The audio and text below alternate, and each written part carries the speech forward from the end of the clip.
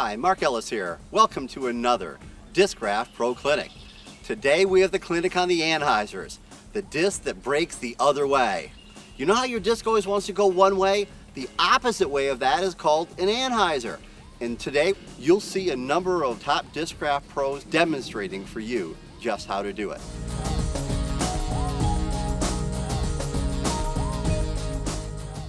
Sometimes folks take their flippiest disc and throw it in their normal motion, hoping the disc flips up and then fades on its own. On this shot, I have to start my disc out as an anhyzer. I have to bend it. I want it to bend and bend to the left of the tree, then hyzer back around. The way you make an S curve on a shot is you start out with an anhyzer and finish on a hyzer. Another way to do it is take a disc that isn't all that flippy, your regular driver, and as you throw with your normal motion at the very end, twist your wrist and hope that you twist it just perfect and it turns just perfect.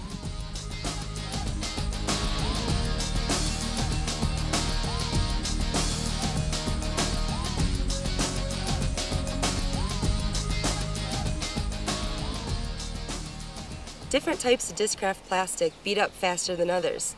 Starting with the D-line, which beats up the fastest, takes a lot of dings and will cut right really hard once it gets banged up. Then onto the X, which is a slightly more hard, but will still beat up at a medium rate. The ESP and the Z plastics are harder plastics and will take a lot more beating without showing any nicks. They will stay stable for longer, so if you're really trying to create an anhyzer disc, you might want to try out a Deere X disc. A 350 foot pure righty hyzer tunnel. Now if you look at this hole from the perspective of someone throwing forehand like me, you say, what in the world do you do with this? The answer is that you anhyzer it, but you anhyzer it a little more because a severe anhyzer is called a roller.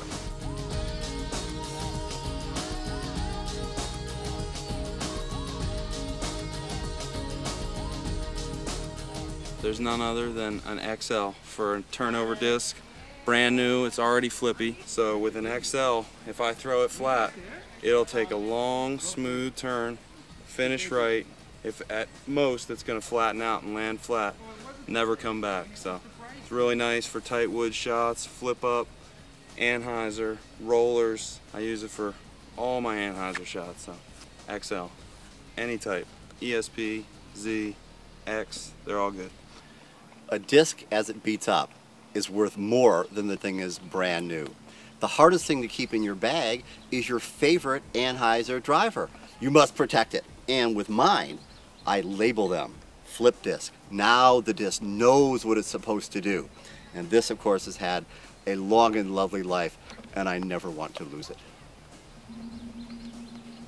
For a beginner, I would recommend a Comet for a anhyzer line. It's very understable. You don't have to put a lot of snap into it to get it on the line that you want it to take.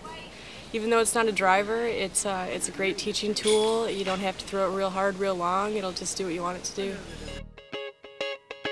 The final way, and really the preferred way for most top players to throw an anhyzer, is to use your body motion to make the disc turn over rather than just twisting your wrist at the end.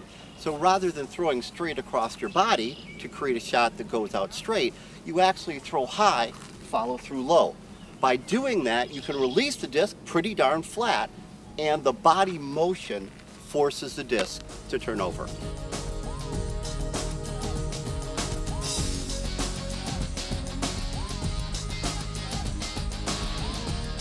If you're uh, an AM throwing an anhyzer, let's throw some understable like a Buzz, they're very easy to turn over, or uh, an XL if you want a little extra distance, but uh, Comets are one of the best turnover discs for anhyzer shots. You can put it on just pretty much flat and it'll just slowly turn right for you.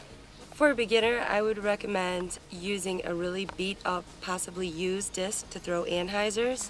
A great disc for that is the Wildcat, once it hits enough trees and beats in and gets enough dings in it, it does all the work for you. You just throw it flat and it's going to turn right over. If you're a little more advanced and you want to actually put some anhyzer into your throw, you can actually get into spin and wrist placement. So if you're throwing an anhyzer, it's more of a thumb down motion like this.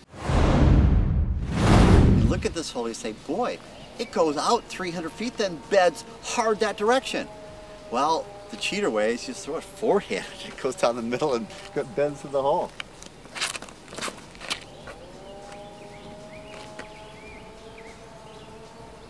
Cheater. Cheater. Pretty easy to me, I don't know.